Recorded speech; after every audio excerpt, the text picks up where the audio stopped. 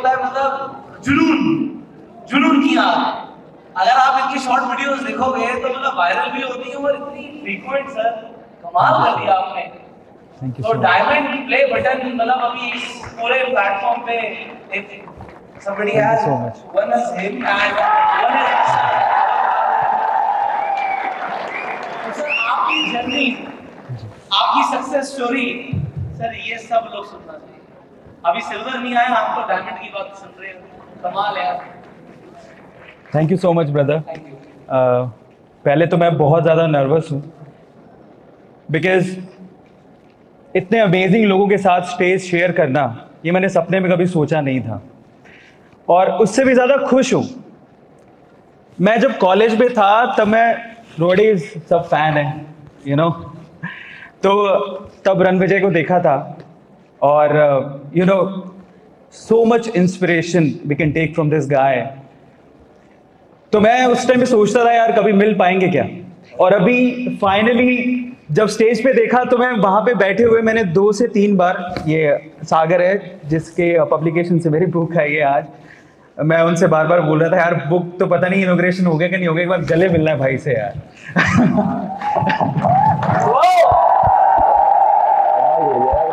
Thank you so much thank you so much यार, एक और बात बताना चाहता हूँ। जितने भी लोग हैं ना, काफ़ी देर डूइंग वेरी वेल सब फिट हैं। आई मैंने इनको ऐसा वहाँ पे हल किया। मैंने यार, तू भी वर्कआउट करता है ये भी फिट है। जैसे आदमी थोड़ा सा ठीक करने पड़ता है ना रियलाइज़ करता है कि हाँ मैं इसको एंजॉय कैसे करूँगा फिटनेस इसके भी मसल है। तगड़े मसल है। इट्स वेरी इंपॉर्टेंट वेलनेस ये किसी और दिन बात करेंगे बट वेलनेस ये सब इसका कोई फ़ायदा नहीं है इतने सब्सक्राइबर के तो खुद ही अगर ग्रैंड कैनिंग पहुँच गए और नीचे ट्रैक करके नहीं गए और वहाँ पे तुम रात को एक टेंट में नहीं सो पाए और सुबह नहीं आ पाए तो फ़ायदा क्या है वहाँ पे पहुँचने का?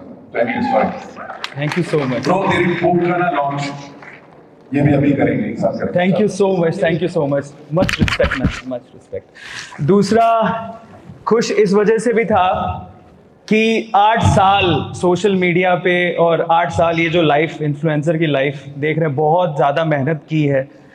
पर लास्ट के तीन साल से तो बाहर कभी निकले ही नहीं। और लगता था कि क्या ही कर रहे हैं, लेकिन आज महसूस हो रहा है, आप लोगों की आवाज़ सुन के, आप लोगों को देख के, आप लोगों के प्यार को पाके हमें आज महसूस होता है कि यार वो आठ साल वेस्ट नहीं थे हमारे।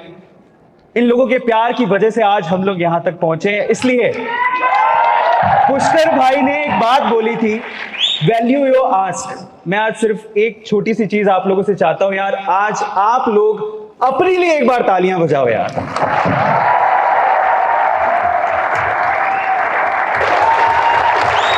बिकॉज़ आप लोग हैं आप लोग हैं तो हम हैं। जब हम किसी भी इन्फ्लुएंसर से या फिर यू you नो know, किसी यूट्यूबर से इंस्टाग्राम में जो फ़ेमस लोग हैं उनसे जब बात करते हैं ऊंचाइयाँ छू रहे हैं सब लोग। अभी सवाल पूछा था पुष्कर भाई ने रणविजय से कि आगे क्या? देखो आगे का तो मैं नहीं जानता हूँ लेकिन आखिर क्या ये थोड़ा सा मैं जानता हूँ। जाकिर भाई की दो लाइनें मुझे याद आ गई अचानक से। मैं यहाँ बोलना चाहता हूँ और आई थिंक आप लोग सब यू you नो know, इसे अग्री करोगे कि कुछ खाब हैं जो मैं आसमां से दूर चाहता हूँ। कुछ ख्वाब हैं जो मैं आसमां से दूर चाहता हूँ। ज़िंदगी भले गुमनाम थी मौत मशहूर चाहता हूँ।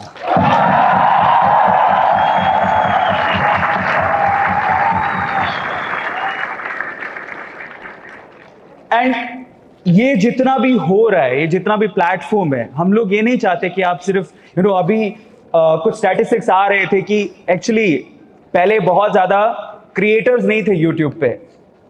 ज़्यादातर लोग सब्सक्राइब करते थे सब्सक्राइबर से, लेकिन अभी जो स्टेटिस्टिक्स आ रही है ना, उनमें लोग क्रिएटर बन रहे हैं। अभी सब्सक्राइबर से ज़्यादा क्रिएटर्स हैं। और ये जो आज का फ़ंक्शन हो रहा है, मैं गारंटी के साथ कह सकता हूँ कि आज आप लोग बहुत कुछ सीख के जा रहे हो, और मुझे लगता है कि यहाँ से हमें और रणविजय और पुष्कर राज, और सीकेन एंड जितने भी फाइनेंस के लेजेंड्स बैठे हैं यहाँ पे, हमें और मिलने वाले हैं फोर श्योर और आप लोगों को ना इस चीज़ को बुलंद आवाज़ के साथ बोलना है। हाँ या ना amazing amazing thank you so much guys तो मेरी स्टोरी से स्टार्ट करते हैं। एक्चुअली क्या होता है ना लाइफ में हमें कुछ बनना नहीं होता है। ये छोटी छोटी सी स्टोरीज होती हैं छोटे छोटे से इंसिडेंसेस होते हैं, जो आगे लेके जाते हैं और बड़ा इम्पैक्ट क्रिएट कर देते हैं। तो मैं वो छोटे छोटे से इंसिडेंसेस जो मेरी लाइफ में हुए, उसके बारे में मैं आपको बताता हूँ। सबसे पहला इंसिडेंट जो हुआ था मेरा ट्वेल्थ खत्म हो गया था। ये बात है 2004 की। 2004 में जो ट्वेल्थ खत्म हुआ तो मैंने सोचा कि चलो यार आईआईटी तो बस की बात है नहीं, इतना मैं इंटेलिजेंट था नहीं। तो मैंने चलो एक आर का एग्ज़ाम होता है राजस्थान में। राजस्थान से बहुत सारे क्रिएटर्स हैं और एक एयर ट्रिपल का एग्ज़ाम होता है, तब ये एग्ज़ाम होते थे। मैंने तो प्रिपरेशन करते हैं, चलते हैं। तो काफ़ी एंथुजियास्टिकली गया था। स्कूल में थोड़ा सा ठीक पढ़ाई करता था। तो स्कूल की होता है ना, हमें हवा लग जाती है कि अब छोटा सा शहर था, उसमें सेकंड थर्ड रैंक आती थी तो हवा थी। लेकिन बाहर जाके इंसान को असलियत पता लगती है कि जो दिखता है ना, जो पैम्परिंग आपको मिलती है अपने घर पे एक्चुअल में ना दुनिया कुछ अलग ही है। वैसी नहीं है। तो बाहर जाके समझ में आया कि ओ माय गॉड हमने लोगों से डील करना तो सीखा ही नहीं। अब हुआ कुछ, क्योंकि तैयारी करने गया था। लेकिन कुछ उल्टे सीधे काम पे पड़ गया। उसमें क्या होता है कि इंटेलिजेंट था पढ़ता था लेकिन लड़कियों वड़कियों का चक्कर उस टाइम पे था नहीं। बस क्लास में सो पैम्पर करते थे कि इंटेलिजेंट है फ़र्स्ट सेकंड थर्ड रैंक आती है। लेकिन बाहर निकले तो एक, एक खूबसूरत लड़की मिली। तो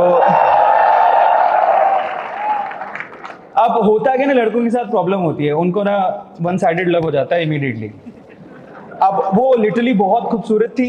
मेरे दिमाग में आया कि यार अब पढ़ने आया था, लेकिन ऐसा लगा कि यार, ये मेरी फ्यूचर ये मेरा फ्यूचर हो सकता है, मेरी फ्यूचर वाइफ हो सकती है। ऐसा करके अब करनी थी तैयारी। छः सात महीने निकल गए, पढ़ाई में ध्यान है ही नहीं। एग्ज़ाम खराब होना ही था फोर श्योर ए ट्रिपली निकला नहीं। एक महीने बाद आरपीटी का एग्ज़ाम था। अब प्रिपरेशन खत्म हो गई। कोचिंग सेंटर वाले कहते हैं, भैया, हो गया तुम्हारा, अब जाओ घर। ए ट्रिपल एग्ज़ाम तो बिगाड़ ही लिया है। अब हुआ कुछ यूँ कि मैंने सोचा कि चलो यार आरपीटी का एग्ज़ाम है, घर जाके देंगे। एक महीने बाद एग्ज़ाम था प्रिपरेशन बहुत खराब थी एक्चुअली सारा समय तो यू नो समझ ही पा रहे हो कि कहाँ निकल जा रहा था। किसी के ख्यालों में खोए हुए थे। ऐसी अगर कोई यू नो लड़कियों के ख्यालों में जनरली क्या लड़कियाँ बहुत मेच्योर होती हैं, लड़कों में प्रॉब्लम होती है जनरली ऐसी। तो जो लड़के जो लड़के ऐसी सिचुएशन में फंसे हुए ना, उनसे मेरा एक सवाल है। सवाल ये है कि आप जिनके ख्यालों में, आप जिनके ख्यालों में 24 घंटे मशरूक हैं वो सिर्फ़ आप ही की है, इसका क्या प्रूफ है? अब वन साइडेड लवर प्यार है, ठीक है, पर उस बंदी को पता ही नहीं है। पता होगा भी तो हमें थोड़ा थोड़ा ऐसे थोड़ा स्माइल होता था, पर यार इंडियंस में थोड़ा स्माइल का मतलब ये नहीं होता, हम उसको ओवर कर देते हैं। ठीक है स्माइल थी, क्या फ़र्क पड़ना था? तो फाइनली जब अब घर जाने वाले थे, मैंने सोचा दिल की बात दिल में नहीं रखते हैं। जैसे कि सब लोग बोलते हैं कि यार कह देना चाहिए। तो मैंने सोचा कि अच्छा सा मूवमेंट देखता हूँ, घर जाना है, परसों की टिकट करा रखी है। लड़की को बोलते हैं दिल की बात बताने में क्या जाता है? तो अब उस टाइम पे फैल गया था कि अभी पाँच लड़के रहते थे हम रेंट पे, उन सबका सिलेक्शन हो गया था। मेरा, मैं खेला ही रह गया था, जिसका नहीं हुआ था। इमेज और खराब हो रखी थी। ऊपर से भाई चले स्टड बनने। पर क्या है ना, हम लोग वो है यू नो बात तो बता के जाएँगे। तो एक मोमेंट मिला मुझे। फाइनली वो लड़की मेरे सामने थी और मैंने उन्हें दिल की बात बताई। मैंने उनको ये नहीं कहा कि आई लव यू मुझे I, मैं आपसे प्यार करता हूँ एंड ऑल दैट ऐसा नहीं था। मैंने उनको डायरेक्टली बोला मैंने उनको डायरेक्टली कहा कि मुझे आपसे शादी करनी है। मैं आप, अपना फ्यूचर देखता हूँ। अब अब प्रॉब्लम क्या थी वो समझते हैं। सिलेक्शन हुआ नहीं जो काम करने आया था वो किया ही नहीं। अब इमेज थोड़ी बहुत जो ठीक थी वो भी खराब हो गई रिज़ल्ट आने के बाद। उस लड़की ने जो मुझे कहा ना उसने मेरा ना मेरा पहला लाइफ टर्निंग मोमेंट था, वो लाइफ चेंजिंग मोमेंट था। वो लड़की मुझे क्या बोलती है पता है? यार, अपने माँ बाप के पैसों को खर्च करके तुम यही करने आए हो क्या? फिर उसने बाद, उसके बाद जो कहा, वो बहुत इंपॉर्टेंट है। कि मैंने तुम्हारे बारे में सुना था, जब तुम शुरू में आए थे, तुम बहुत इंटेलिजेंट तुम मेहनत भी बहुत करते थे। अब क्यों नहीं करते हो? क्या हो गया? फिर लास्ट में जो उसने मुझे बात बोली ना, वो मेरे दिल को चुप गई। और फिर मैंने कहा, यार अब तो कुछ करना पड़ेगा। पर उससे एक ना, एक सांत्वना भी मिले। उस लास्ट में क्या कहा पता है? एक सजेशन देती हूँ। मैंने कहा, क्या? कि तुम ना सफल हो जाओ सक्सेसफुल हो जाओ, अपने पाँव पे खड़े हो जाओ तो तुम्हें दुनिया की हर खुशी मिलेगी। मैं भी।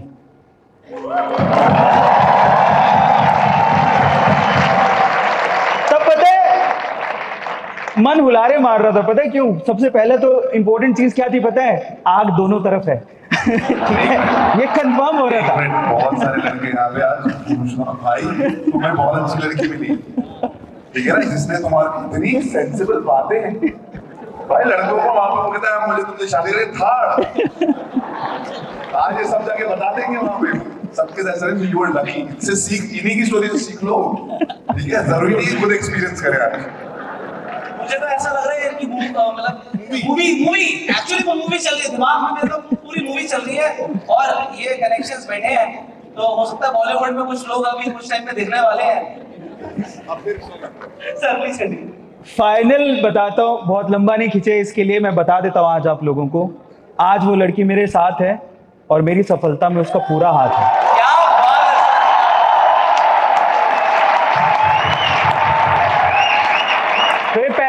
कहानी थी जिसने मेरी ज़िंदगी बदली। अब दूसरी कहानी की तरफ़ चलते हैं छोटी छोटी सी कहानी है। दूसरी कहानी की तरफ़ चलते हैं। अब हुआ कुछ क्यों कि लड़की ने कहा भी तुम मेहनत करो, सफल हो जाओगे तो सब मिल जाएगा। मैं गया घर। मैंने एक महीना जम के पढ़ाई की। जो पिछले छह सात महीनों में नहीं की थी, वो एक महीने में जम के पढ़ाई की। आरपीटी में सिलेक्शन हुआ, बढ़िया कॉलेज मिला, जो राजस्थान में टॉप प्राइवेट इंस्टीट्यूट माना जाता है, वो कॉलेज मिल गया। लेकिन एवरेज फैमिली से बिलोंग करते हैं। और हुआ कुछ यूँ कि मैं पापा का इकलौता हूँ। और हमारे पापा की है शौक। मैं अपने पापा की बहुत रिस्पेक्ट करता हूँ बिकॉज़ वो मेरे उनसे यू नो उनके जितना खुददार इंसान मैंने कभी नहीं देखा। अब, पर उनका ये था कि मैं इकलौता हूँ। हमारा बाहुबली साम्राज्य एक दुकान, उसको कौन चलाएगा तो उनका यूँ रहता था कि हो गया हो गया, कल दुकान पे पहुँचना है। अब मैं कह रहा हूँ, मेरा सिलेक्शन हुआ है, आप उसे सीरियसली ले ही नहीं रहे। अब हुआ कुछ यूँ कि मेरा हो गया कॉलेज भी अलोट हो गया। फाइनली ना पापा को साइन करने थे एक पेपर पे। और उससे पहले मैंने पापा को बोला पापा फ़ीस है इकतालीस हज़ार रुपये साल की। पापा कहते हैं मेरे पास नहीं है। तेरे को पता है ना तेरी दो बहनें हैं शादी भी करनी है। और एवरेज फैमिली में होता है। पापा ने डायरेक्टली बोला मुझे कि तुझे भी तो रिस्पॉन्सिबिलिटी सम, समझनी चाहिए ना तू कहाँ जा रहा है? दुकान पर बैठेगा कौन? मैंने कहा मुझे नहीं करना है मुझे मेरे मेरे पैशन को फॉलो करना है मुझे इंजीनियरिंग करनी जाने दो। पापा मानने को तैयार ही नहीं। फिर क्या हुआ? फाइनली मैंने कहा, अगर आपके पास पैसे नहीं है, कोई बात नहीं, मैं लोन लेता हूँ एजुकेशन लोन मैंने अपने भाई के थ्रू एजुकेशन लोन लिया। और अब चाहिए थे एक्चुअली ना फादर के साइन के बिना तो वो इशू नहीं हो सकता। तो इन दैट केस अब रात को आठ बजे मैं सारे पेपर वेपर लेके पहुँच गया पापा के पास। तो पापा को बोला कि साइन कर दो, ये लोन है और ये बड़ा सेफ़ लोन माना जाता है, नहीं भी चुका होगा तो कुछ नहीं होगा। दे तो दो। पर पापा कहते हैं, मैंने आज तक कभी उधार नहीं ली नाम कभी लूँगा। मतलब उनके जो स्टेटमेंट है ना, मुझे आज भी याद है। तब बड़े ऐसे लगते थे कि ये क्या इंसान है, लेकिन आज उन उन सब चीज़ों की कद्र होती है, मेरे दिमाग में कद्र होती है। उन्होंने कहा, मैं लोन वोन ज़िंदगी में नहीं लिया है, तेरे लिए भी नहीं लूँगा। पर मेरे को जाना था। मैंने कहा, पापा, आपको पैसे देने नहीं है तो मुझे ये तो करो। अब पापा का ना एक खास बात थी, वो सुबह पाँच बजे उठते थे। अब पाँच बजे उठते थे और हमें बहस करते हुए रात ग्यारह बज गए थे। पापा को सोना होता था दस बजे। मैंने कहा पापा साफ़ बात है, साइन करोगे तो सोने दूँगा और साइन नहीं करोगे तो सारी रात जागोगे. फाइनली पापा ने साइन किए। अब मूवमेंट कहाँ आया, जरा वो समझना। पापा ने साइन किए, मेरा चेक मेरे हाथ में आ गया। अब क्या हुआ, जयपुर जाने के लिए मैंने टिकट कटाई। टिकट तब ना, सूरतगढ़ से जयपुर की टिकट एक सौ में आती थी। अब बैठ जाओ, वो गैलरी के अंदर इतनी भीड़ होती थी। तो टिकट हाथ में, एक इकतालीस हज़ार का लोन का चेक हाथ में। पापा खड़े हैं मुझे जयपुर की बस में बिठाने के लिए। तब पापा ने ना मुझे एक बात बोली। ये कहता हूँ छोटे छोटे मूवमेंट हमें ज़िंदगी बदलते हैं। और पता लगता है आप कितने स्ट्रोंग हो। पापा ना तब बड़े प्यार से मुझे बोले, देख बेटा, मैंने पूरी ज़िंदगी देखी है, बाल सफ़ेद हो गए। तुझे मैं अब भी कह रहा हूँ मान जा अगर तू चला गया तो इकतालीस हज़ार का नुकसान होगा। और नहीं गया तो सिर्फ़ एक सौ पच्चीस रुपए का नुकसान होगा। और तब मैं सोच में पड़ गया, यार, पापा कह रहे हैं इतना, पर फिर भी मैंने क्या कहा, नहीं, पापा, मुझे जानना है। पैशन ही इतना था कि मुझे जानना है। फाइनली मैं इंजीनियरिंग के लिए गया। वहाँ से पता लगता है छोटे छोटे से मूवमेंट आपको स्ट्रॉन्गनेस पता लगती है, आप में कितनी, आप कितने बोल्ड अपने डिसीज़न को लेके। तब मेरे फादर ने मुझे एक बात बोली थी कि तू जा तो रहा है, लेकिन अब से याद रखना, आज के बाद से तेरे डिसीज़न तेरे लाइफ के डिसीज़न वो तेरे है, उससे मेरा कोई दखल भी नहीं होगा और मुझे कोई इंटरेस्ट भी नहीं है। और पापा मेरे साथ नहीं आए थे और तब कॉलेज के गेट पर जब एप्लीकेशन देते हैं, उस पर साइन करवाने थे फादर के। मैंने खुद नहीं साइन किए और उन्होंने चार साल कभी भी मेरे कॉलेज को देखा तक नहीं। और फाइनली मैंने वो कॉलेज एक्चुअली ऑनर्स में ख़त्म किया था। और मैंने अपने पापा को कभी भी इस बात की शिकायत नहीं आने दी कि मैं क्या कर रहा हूँ। मैं पैशनेटली अपने इंजीनियरिंग को करते रहा। लेकिन अब आप मैंने आपको बता ही दिया कि मैं इंजीनियरिंग कर रहा था तो इंजीनियर की खास बात होती है कि इंजीनियर इंजीनियरिंग के अलावा सब कुछ कर सकता है। ठीक है? तो फाइनली अब तीसरी स्टोरी पर आते हैं। थर्ड स्टोरी थर्ड स्टोरी मेरे केमिस्ट्री टीचर बनने को लेकर है। एक्चुअली मेरे कॉलेज के बाद मेरा सिलेक्शन हो गया था, पर मेरा ज्वाइनिंग लेटर नहीं आया था। तो मैंने अपना कोचिंग सेंटर स्टार्ट कर लिया। और कोचिंग सेंटर स्टार्ट करने के बाद मैं इंजीनियरिंग के सब्जेक्ट पढ़ा रहा था। लेकिन क्या होता है ना, अभी ना ऐसा होता है कि मज़ा नहीं आ रहा है। मतलब टीचिंग अच्छी लगती थी, लेकिन मज़ा नहीं आ रहा था, जो काम कर रहा था मैं। तो जब आपको ना क्लैरिटी ना हो कि जो आप कर रहे हो, उसमें क्लैरिटी ना हो, तब एक बहुत सिंपल सॉल्यूशन होता है। Give yourself a break तो मैंने ना तब डिसाइड किया, यार, मुझे कुछ समझ नहीं आ रहा है करियर में करना क्या है? ये 2014 की बात है। मैंने अपने आप को ब्रेक देने की सोची कि मैं ना पैसों के लिए काम नहीं करूँगा। मैंने छह महीने जॉब किया, उससे पैसे इकट्ठे किए और फिर अपने आप को छह महीने का ब्रेक दिया। और वो भी कौन सी सिटी में? सूरत में। तो यहाँ पे मैं सिर्फ़ एक चीज़ कहना चाहता हूँ कि जब आपको, आपके यू नो एम्स में क्लैरिटी ना हो give yourself a break उस ब्रेक में मैंने क्या किया? मैं बताता हूँ आपको। मैंने पैसे कमाने के लिए कुछ नहीं किया। कुछ भी नहीं किया। और यहाँ पर है ना जितने भी सोशल मीडिया पर आने वाले लोग हैं मैं यहाँ पर एक छोटी सी चीज़ आपको बताना चाहता हूँ आप लोग ध्यान से सुनिएगा कि मैं यूट्यूब पे क्यों आया। मैंने उन छह महीनों में कुछ नहीं किया। मैंने ओशो को पढ़ा रामानुजन को पढ़ा मुझे बुक्स पढ़ने का बहुत शौक है। मैंने फाइनेंस की बुक्स नहीं पढ़ी लेकिन मैंने यू you नो know, मुझे स्पिरिचुअलिटी में जाने का योगा, ध्यान ही करने का, उस उस टाइम पर तो पता नहीं क्या ही हो गया था पैशन ही था। एक छोटा सा मूवमेंट आया था मेरी लाइफ में, मैंने वो एक सेकंड का मूवमेंट अपनी लाइफ में कभी देखा ही नहीं, आज तक भी नहीं देखा। वो क्या था, मैं इतना ज़्यादा मेडिटेट करने लग गया था उन छह महीनों में कि सिर्फ़ एक सेकंड के लिए, और ये मैंने अभी टेट टॉक में भी बताया जो मैंने रिसेंटली अभी लॉन्च हुआ था, सिर्फ़ एक सेकंड के लिए मैंने अपने आप को ध्यान करते देखा था। मतलब मेरा सोल अलग था, मेरी बॉडी अलग थी। और वो छह महीने पैसों से दूर रह के सिर्फ़ ये चीज़ पे सोच रहा था कि मेरी कैपेबिलिटीज क्या है, मैं क्या कर सकता हूँ। मुझे इतनी क्लैरिटी आई, तब मुझे समझ में आया कि एक्चुअली मुझे करना क्या है। और तब जब मैं रामानुजन को पढ़ रहा था तो मैंने उनकी बर्थ स्क्वायर पे एक एक बहुत अमेजिंग मैकेनिज्म था, वो मैंने क्रैक किया था। और वो मैकेनिज्म अब हुआ क्या कि इतना अमेजिंग मैकेनिज्म मैंने क्रैक कर लिया रामानुजन की बुक का। वो था एक कि आप किसी भी किसी की भी बर्थ डेट से उनका स्क्वायर बना सकते हो। तो मैंने कुछ ऐसे मेथड्स निकाले कि कोई भी बना सकता है। अब प्रॉब्लम ये थी कि अभी स्टडी किया है ताज़ा ताज़ा ये मेथड बनाया है कॉपी में लिख दूँगा कॉपी फट सकती है, रद्दी में चली जाएगी, कहाँ याद रहेगा? चलो मैं कंप्यूटर या लैपटॉप में सेव कर लूँगा, लेकिन लैपटॉप खराब हो गया तो। फिर मैंने सोचा कि क्यों ना, और तब 2014 में यूट्यूब भुवन बाम को देखते थे कैरी मनाटी को देखते थे मज़ा आता था तो यूट्यूब तब एंटरटेनमेंट के लिए फ़ेमस था। सो so, मैंने तब सोचा कि क्यों ना यार इसका एक वीडियो बनाते हैं। यूट्यूब फ़ेमस था वीडियो डाल देते ना ऑनलाइन तो रह गई वहाँ थोड़ी मरने वाला है।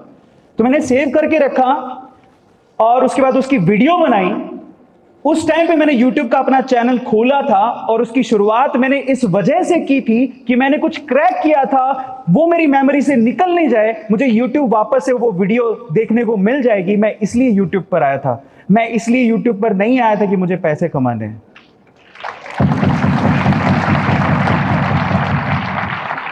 और यहाँ से एक छोटी सी सीख देता हूँ आपको। आप जितने भी क्रिएटर्स हैं जो सोशल मीडिया पे आना चाहते हैं अगर पहला थॉट प्रोसेस आपका ये है कि मुझे पैसे कमाने हैं या कोई बहुत पैसे कमा रहा है, करोड़ों रुपया छाप रहा है, मुझे इसीलिए सोशल मीडिया पर आना है तो भाई साहब आप गलत डायरेक्शन में हो। फॉलो योर पैशन मींस आप सबसे पहले देखो आपको आता क्या है। आपके पास कुछ ना कुछ स्पेशल ज़रूर होगा। सर्च करो उसको।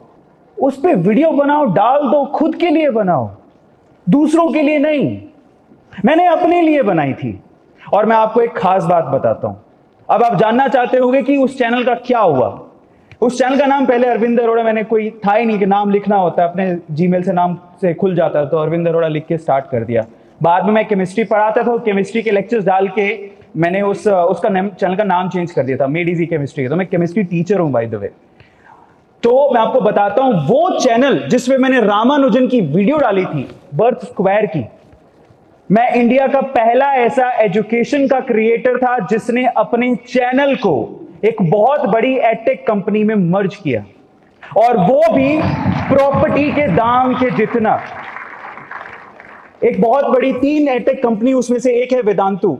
अगर आप लोगों को पता होगा, वो यूनिकॉर्न है और उस कंपनी में मैंने उस चैनल को मर्ज किया। आज वेदांतु की इक्विटीज होल्ड करता हूँ just because of that channel वो इतनी इतनी पैशनेटली उस चैनल को मैंने स्टार्ट किया था। पैसों के लिए नहीं किया था। तो ये छोटी सी स्टोरी है। यहाँ से सीखने को एक छोटी सी चीज़ मिलती है कि आपको अपने पैशन को देखना है, अपनी स्किल को देखना है। पैसों के लिए नहीं आना। प्लीज़ और फाइनली एक लास्ट छोटी बिल्कुल छोटी सी स्टोरी है। बहुत ज़्यादा टाइम ले लिया मैंने। एक लास्ट स्टोरी उसके बाद इसको ओवर करते हैं। वो थी कि मैं शॉर्ट क्रिएटर कैसे बन गया? केमिस्ट्री टीचर था केमिस्ट्री पढ़ा रहा था, मज़े आते थे। केमिस्ट्री के सारे लेक्चर्स मैंने अपलोड कर दिए थे। तो हुआ कुछ यूँ कि तब टिकटॉक अपना एक प्लेटफॉर्म लेके आया था शॉर्ट प्लेटफॉर्म टिकटॉक काफ़ी फ़ेमस था। पर टिकटॉक में प्रॉब्लम ये थी अगेन कि उसको इमेज का बड़ा वो था कि सब लोग अजीब से वीडियोस डालते थे। एजुकेशन का कोई वीडियो थे नहीं ज़्यादा। तो उनको लगता था कि इंडिया में बैन नहीं हो जाए एजुकेशन पे ध्यान देते हैं। तो उन्होंने दिल्ली में यहीं, आप ही की शहर में एक कॉन्क्लेव रखा। उसमें अवल भाई थे वहाँ पे और हिमेश भाई को इनवाइट किया था, पर वो शायद बिज़ी थे। तो उस कॉन्क्लेव में टिकटॉक के जितने क्रिएटर्स थे, वो थे और हमें यूट्यूबर्स को इनवाइट किया गया था जो एजुकेशन फ़ील्ड में अच्छा कर रहे थे कि आप आओ और आप वीडियोस बनाना टिकटॉक पे। आई वॉज़ लाइक यार यूट्यूब तो बहुत बड़ा प्लेटफॉर्म है। टिकटॉक इतना बड़ा कहाँ है? यूट्यूब बहुत बड़ा प्लेटफॉर्म है। मुझे लगा कि बहुत रिस्पेक्ट मिलेगी। गए वहाँ पे। पर एक्चुअली पीछे पीछे चेयर्स पे बैठे हुए थे। केमिस्ट्री टीचर ये तो क्या औकात है बट ठीक है, पीछे पीछे बैठे हुए थे। जितने टिकटॉक के शॉर्ट क्रिएटर्स है ना, उनको बहुत रिस्पेक्ट वो बहुत अमेजिंग काम कर रहे थे बाय द वे बट मुझे ऐसा एक्सपेक्ट नहीं था कि वो इतना इनवाइट करेंगे और पीछे पीछे बिठा देंगे। तब मुझे और दिमाग में क्लिक किया कि यार, क्यों ना एक काम करते हैं। हम लोग शॉर्ट्स में क्यों नहीं मचा सकते? इन दैट केस मैंने पूरे प्लेटफॉर्म को स्टडी किया। फिर से एक छोटा सा ब्रेक लिया गोवा गया वापस आया फिर मैंने सोचा कि चलो हम्म। तरक्की के बाद ब्रेक देख रहे हो कहाँ थोड़ी सी तरक्की पहले पहले सूरत ठीक है तब मैं गोवा गया। I want for a break to Goa अभी ब्रेक ले रहे वेगस यार मैं थोड़ी देर के वेगस चले गया था। वो इक्विटी तो है ही तुम्हें पता है ना। प्लीज़ तो लास्ट स्टोरी एक्चुअली वो गोवा इसलिए गया था कि वहाँ पर लाइफ लगइन का एक कॉन्क्लेव था इनवाइटेड थे हम लोग इसलिए गया था। क्लैरिटी दे देता हूँ वो इसलिए नहीं गया था जो आप सोच रहे हो। तो वो लड़की थी जिसने इतना सहारा दिया मुझे लगा उनको घुमाने लेके गए हो हमारा सोच में तो फिर से मोरल ऑफ़ द स्टोरी जब क्लैरिटी ना हो तो जाओ ब्रेक लो। सो फाइनली uh, वापस आया और टिकटॉक पे मैंने एक पहला एक फॉर्मेट सोचा। तब टिकटॉक पे क्या करते थे लोग कि लिपसिंग वाली video straight nine ratio sixteen में बनता था, लेकिन मैंने सोचा कि यार मैं काम करूँगा, उसको दो पार्ट में डिवाइड करूँगा फिफ्टी फिफ्टी नीचे मैं खुद बोलूँगा मोटिवेशन इफ़ेक्ट के वीडियो सब बनते नहीं थे, और ऊपर उससे रिलेटेड वीडियोस चलेंगे। वो फॉर्मेट एक्चुअली इंडिया में फ़र्स्ट टाइम मैंने ही स्टार्ट किया था, और उसके थ्रू उसके थ्रू सिर्फ़ छह महीने में 7.2 मिलियन फॉलोअर्स हो गए थे मेरे टिकटॉक में। फाइनली मुझे बड़े इज़्ज़त से उन्होंने बुलाया और और फिर वहाँ टिकटॉक के जो मेन थे ना इंडिया वाले, उन्होंने कहा कि आपकी वीडियो की एंगेजमेंट एक्चुअली सबसे ज़्यादा है। शॉर्ट प्लेटफॉर्म पे मुश्किल से 10-15 सेकंड ही लोग देखते हैं, लेकिन 38 सेकंड का मेरा on an average watch time था एक मिनट की वीडियो पे। But unfortunately 7.2 million followers on TikTok रातों रात टिकटॉक बैन हो गया। खाता बंद। अब यहाँ से लास्ट है, बस चार ही लाइन है, ध्यान से सुनना। वो क्या है? तब क्या बात है? जयकारे लग रहे हैं। फाइनली अब उस मोमेंट पे क्या होता है? देखो, ये कभी भी हो सकता है। सोशल मीडिया है, ये सोशल मीडिया अभी होता भी है। यूट्यूब आपका चैनल कभी भी बंद हो सकता है भाई, अगर आपने कुछ गलत किया तो। और एक मेरे फ्रेंड है, अभी कल पर से उनका एक चैनल अचानक से हैक हो गया। हैक होने के बाद डिलीट हो गया। तो ये कभी भी हो सकता है आपके साथ। इन दैट केस क्या है? आपको अपनी, आपको YouTube का प्लेटफॉर्म नहीं देखना, या कोई प्लेटफॉर्म नहीं देखना, आपको अपनी क्रिएटिविटी देखनी है। आपने शुरू क्यों किया था? जरा समझो। वो बहुत इंपॉर्टेंट है। सो so फाइनली जब टिकटॉक बैन हुआ तो मैं रुका नहीं। मैंने वही शॉर्ट वीडियोस बनाते रहा और उन वीडियोस को मैं यूट्यूब पे डालना शुरू किया। और मैं इंडिया का पहला ऐसा क्रिएटर था जो शॉर्ट वीडियोस डाल रहा था एक मिनट के। और फाइनली जब बीटा वर्जन लॉन्च हुआ तो मेरा जो चैनल था ए टू मोटिवेशन वो बहुत अमेजिंगली किक ऑफ़ हुआ। सिर्फ़ दो महीने के अंदर दस लाख फॉलोअर्स सब्सक्राइबर्स मैंने किए। और सात से आठ महीने में एक करोड़। और इसी वजह से आज आप लोगों के प्यार की बदौलत मेरे पास डायमंड प्ले बटन है। क्या बात सो फाइनली समराइज करूँगा। जैसे पुष्प हमारे जो ऑनर साहब हैं इनका एक थ्योरी था थ्री टी थ्योरी। मेरा थ्री सी थ्योरी है, जिसमें से एक सी इन्होंने बताया था अभी थोड़ी देर पहले। First one is commitment second one commitment मतलब अगर आपने एक बार सोच लिया ना कि मैं कंटेंट बनाऊँगा, मेरे पास स्किल है तो छोड़ना मत। आपको बनाना ही बनाना है। लेकिन दूसरा सी है कंटेंट अपने कंटेंट पे काम ज़रूर करना बिकॉज़ अगर आप अच्छा कंटेंट बना रहे हो तो लोग आपको एक ना एक दिन ज़रूर अप्रिशिएट करेंगे। आपके सब्सक्राइबर्स बढ़ेंगे, आपको उतना ही प्यार मिलेगा और आपकी कम्युनिटी भी उतनी बढ़ते जाएगी। एंड फाइनली जो थर्ड सी है, जो बहुत इंपॉर्टेंट है दैट इज़ कंसिस्टेंसी शुरू में व्यू नहीं आते बॉस एज ही सेट कि हर कोई कोलाबिलिटी नहीं होता, नहीं आते बॉस लेकिन उस पर्टिकुलर मूवमेंट पे अगर आपने छोड़ दिया तो फिर आप सक्सेसफुल नहीं हो पाओगे। कंसिस्टेंसी रखना आपका वक्त कभी भी आ सकता है। Thank you so much guys thank you so much रहा बट मैं आप लोगों को भी देख रहा कि यार, इतना मोटिवेशन भर दिया लोग और ये बहुत बड़ी बात है, अपने लिए तालियाँ हो जाए यार। लोग ग्यारह बजे से नहीं आए। लोग एक एक दिन पहले आ गए थे। रात में आप लोगों की इंस्टाग्राम पे स्टोरी देखी मैंने यू वांट सो आप लोग यहाँ पर इस वक्त बैठे हुए हैं। मतलब दिल से यार आप लोगों को मैं बोलूँगा, आप लोग नेक्स्ट बिग स्टार